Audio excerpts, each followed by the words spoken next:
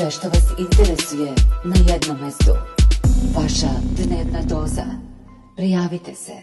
Epidemiološka situacija u Pirotskom okrugu je nepovoljna jer se svakodnevno beleži rast pozitivnih na koronavirus. Epidemiolog Radmila Zec kaže da se situacija pogoršava iz sata u sat i da svako ko ima temperaturu treba hitno da se javi lekaru i izoluje. Od početka epidemije u Pirotskom okrugu korona je potvrđena kod 265 pacijenata. Najmanje zaraženih je u Dimitrovgradu.